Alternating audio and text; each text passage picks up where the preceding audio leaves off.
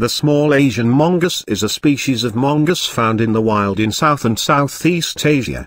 It has also been introduced to Hawaii, the Bahamas, Cuba, Croatia, Jamaica, Hispaniola, Puerto Rico, the Lesser Antilles, Belize, Honduras, Panama, Trinidad and Tobago, Colombia, Suriname, Venezuela, Guyana and Mafia Island. The western subspecies group is sometimes treated as a separate species, the Indian mongoose or small Indian mongoose. This species of mongoose is sympatric with Herpestes edwardsii in much of its native range and can be readily distinguished from the latter species by its much smaller size. The body is slender and the head is elongated with a pointed snout.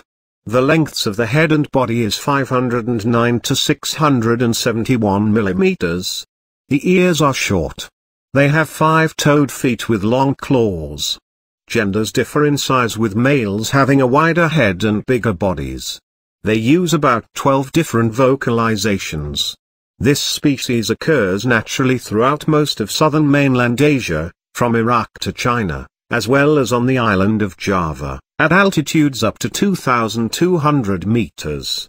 It has also been introduced to dozens of islands in the Pacific and Caribbean, including St. Lucia, Jamaica and Puerto Rico, as well as a few in the Indian Ocean and Mediterranean, as well as to mainland Venezuela. It is capable of living among fairly dense human populations. Mongooses